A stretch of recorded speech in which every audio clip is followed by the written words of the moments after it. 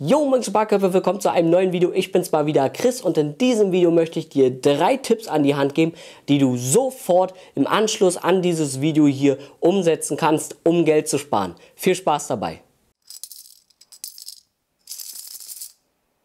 Okay, ich gebe dir jetzt also drei Tipps, die du im Anschluss an dieses Video sofort umsetzen kannst, um Geld zu sparen. Das bedeutet aber nicht, dass du dadurch dann sofort Geld sparst, also sofort sozusagen 5, 10 oder noch mehr Euro in deine Tasche wandern, sondern dass es einfach Dinge sind, die du sofort tun kannst, um dann vielleicht schon morgen oder in nächster Zeit Geld zu sparen. Tipp Nummer 1 habe ich in einem meiner ersten Videos schon mal gegeben, aber wenn du jetzt vielleicht ein neuer Zuschauer bist, dann wirst du diesen Tipp vielleicht noch nicht kennen, weil du das Video noch nicht gesehen hast. Nehme dir einmal einen Zettel und schreibe auf diesen Zettel die Frage, ist das wirklich notwendig? Und diesen Zettel, den packst du dann in dein Scheinefach von deinem Portemonnaie und immer dann, wenn du eben, ja, dabei bist, Geld auszugeben, wirst du diesen Zettel sehen, erinnert werden an die Frage, ist das wirklich notwendig? Und kannst dich dann eben fragen, okay, ist das jetzt wirklich notwendig oder kaufe ich das jetzt irgendwie in einem Impuls? Vielleicht kennst du das auch, wenn man mal durch die Straßen geht, dann riecht man schön den Duft vom Bäcker und denkt sich, oh, jetzt hätte ich Lust auf eine Streuselschnecke oder ein belegtes Brötchen oder was auch immer. Und dann siehst du eben vielleicht diesen Zettel in deinem Portemonnaie und sagst dir, nein, ich brauche das jetzt nicht, das ist gerade nur so ein Affekt, ein Impuls, ich gehe jetzt weiter und kaufe nicht. Tipp Nummer zwei habe ich auch schon mal in einem Video genannt, werde ich jetzt aber noch erweitern. Zahle möglichst alle Ausgaben in Bar, die du vor allem so in deinem Alltag tätigen kannst, also irgendwelche Snacks, Einkäufe und so weiter, alle in Bar tätigen und vor allem verbanne Kleingeld aus deinem Portemonnaie, sondern pack nur noch Scheine hinein. Ich weiß nicht, ob es bei dir auch so ist. Bei mir ist es so, wenn ich dabei bin oder gezwungen bin sozusagen einen Schein auszugeben, zum Beispiel einen 20-Euro-Schein für eine Ausgabe von ja, 1,50 oder 2 Euro, dann ist es bei mir so, dass ich mir sage, oh nee, den 20er möchte ich jetzt dafür nicht anreißen. Vielleicht kennst du diese Situation und deswegen ist mein Tipp an dich, trage nur noch Scheine bei dir herum und meine Empfehlung wäre ab 20 Euro, also noch 20, 50er, vielleicht sogar 100er mit dir rumzutragen. Wenn für dich auch 5 oder 10 Euro schon Scheine sind, wo du dir sagst, ja, die gebe ich nicht gerne aus, dann kannst du auch gerne die mit dir herumführen.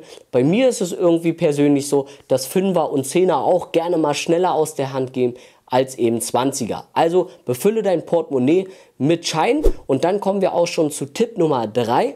Alles Kleingeld, was du jetzt in deinem Portemonnaie hast, beziehungsweise was du eben in Zukunft dann, wenn du dir mal zum Beispiel einen kleinen Snack kaufst und dann bekommst du etwas Kleingeld zurück, dann wirst du dieses Geld in einem Glas oder in einem Gefäß sammeln über einen bestimmten Zeitraum, ein, drei, sechs, vielleicht sogar zwölf Monate. Und nach diesem Zeitraum wirst du dann dieses Geld zählen und entscheiden, was du damit machen möchtest.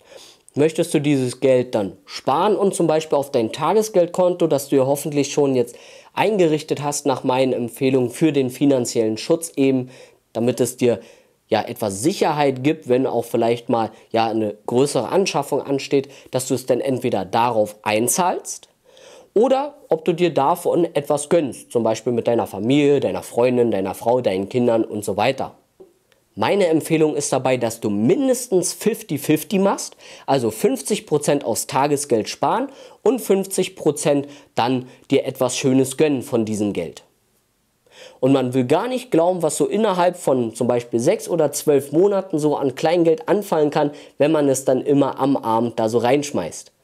Solltet ihr das Kleingeld einmal zum Beispiel für einen Parkautomaten brauchen, weil ihr wisst, ihr parkt in einer Gegend, wo es gebührenpflichtig ist, dann nehmt ihr einfach euch das entsprechende Kleingeld hier wieder raus und packt es in euer Portemonnaie.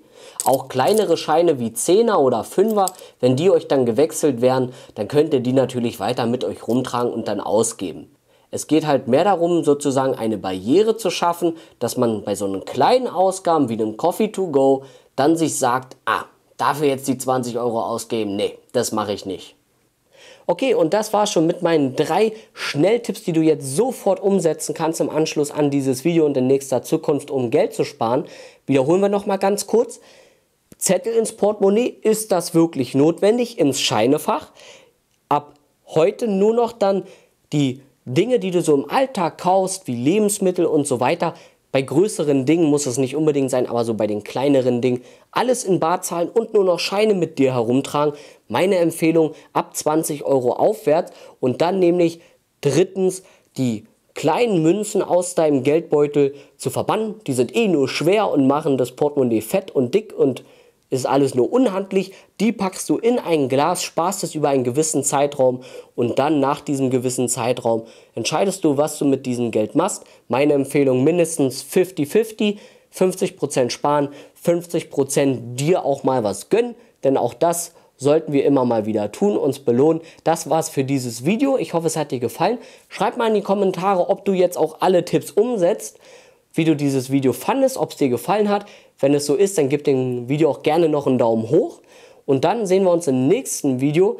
Schau gerne noch bei sparmitkopf.de vorbei für meine kostenlose 4-Schritte-Sparformel, wo ich ja eben auch um das von mir angesprochene Tagesgeldkonto mit dem finanziellen Schutz ja, spreche. Und dann sehen wir uns im nächsten Video. Ciao, dein Chris von Spar mit Kopf.